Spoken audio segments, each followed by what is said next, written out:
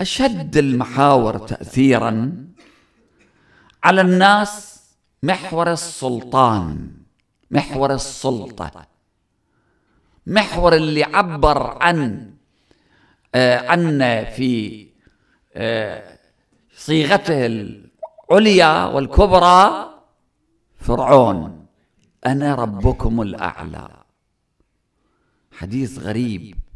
يقول كل نفس أضمرت ما أظهر فرعون. فرعون أظهر. قال أنا ربكم الأعلى. لكن كل نفس أضمرت. يعني بقرارة قلبه يريد يكون رب الناس الأعلى. بس ما يقدر. يريد يكون شيء. يريد يذكرون ناس. يريد الناس يرفعون من شأنه. يريد يقعدوا صدر المجلس. حب السلطان يعني أن يكون سلطانا.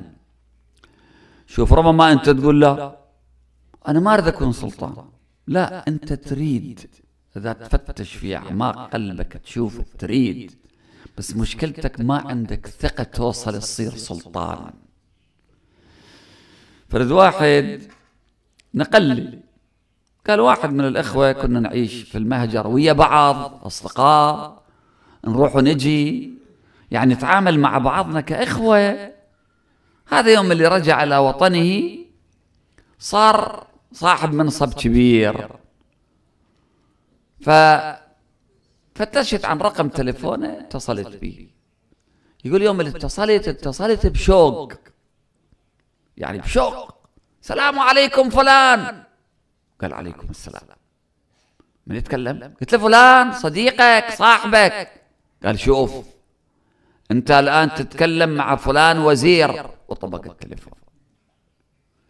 يوم اللي ما عنده شيء لا زين حباب طيب تواضع خلوق. لكن جربه يوم اللي تعطيه فرد منصب. لو صار شرطي مرور الأرض ما تشيله والله شنو؟ يوقف السيارات. من هالصوب ومن هالصوب. طبعا في بلادنا بعدهم شرطة المرور. في بعض الدوار تشوف عشرين شرطي مرور. في هالبلاد ما يحتاجون شرطة مرور. الإشارة حمراء أوقف. إشارة خضراء امشي. صفراء وخذ احتياطك. شرطي مرور يسوي هيك وهيك. بقولة فد واحد كان يقول هذا هذا تدري منو؟ هذا شرطي مرور. يعني شنو؟ يسوي هيك وهيك. يعني يوقف الزيارة. بتشيل الأرض. إذا شوي ارتفع أكثر. أوه. إن الإنسان ليطغى. يعني يصير عنده طغيان. أن رآه استغنى. يوم اللي يشوف ما يحتاج للآخرين يوم اللي عنده حاجة لا يتواضع. بس يوم اللي ما يحتاج. ما يحتاج مال ما يحتاج منصب ما يحتاج حتى علم. آفة العلم الغرور.